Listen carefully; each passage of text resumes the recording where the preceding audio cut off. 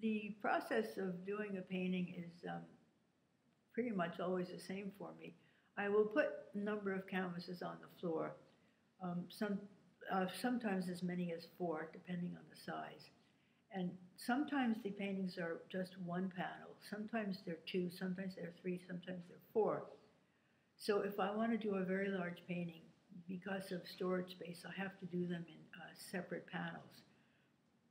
Sometimes I will put, say, three panels together on the floor, and I butt them so that it actually looks like one painting.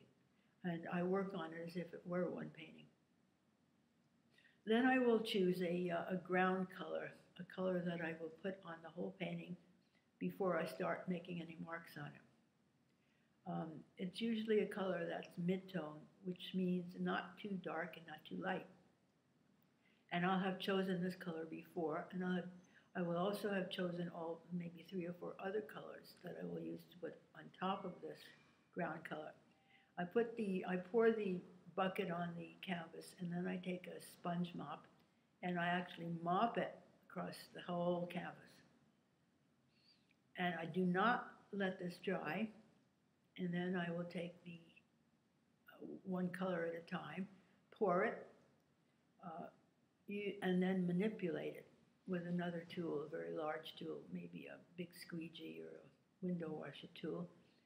And I will start pushing the shapes around the canvas. Now, how do I do this? In what way I do it?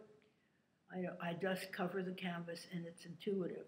And the music is leading me a little bit into this because of the tempo the loudness, the gentleness of it, or the uh, vigor of it. And so I will sweep across the canvas uh, from one end to the other. Then I will take another color and another clean tool and do the same thing. Uh, the paint is very, very, very wet, so I'm having puddles all over the canvas. And I keep doing this success, successive times with three or four colors sometimes just two or three, until one or two things happen. Either the canvas is too wet to work on, so that I have to pause, or it might be done, which is very rare to have it done quickly.